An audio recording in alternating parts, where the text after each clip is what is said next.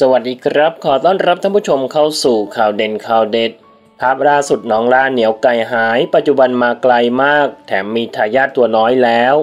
เชื่อว่าหลายคนคงจำกันได้อย่างดีสำหรับคลิปที่เคยเป็นกระแสดังในโลกโซเชียลอย่าง ตามล่าเหนียวไก่หาย ของน้องไลล่าหรือคณิษฐาจันสว่าง ที่เรียกความฮือฮาในโลกโซเชียลตามล่าข้าวเหนียวไก่หายใครขโมยไป ตอนนั้นน้องอัดคลิปออกมาระบายความรู้สึก เพราะข้าวเหนียวไก่ของเธอนั้นได้หายไปทำให้ชาวเน็ตต่างพากันให้ความสนใจ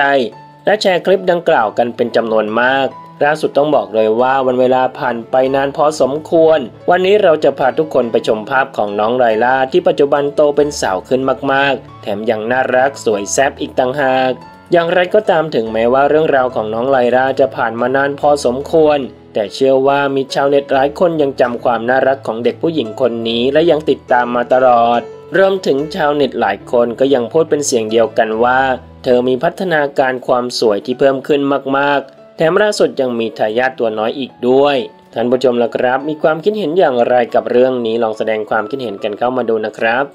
ขอขอบคุณข้อมูลจากทีนิวส์ขอบคุณครับ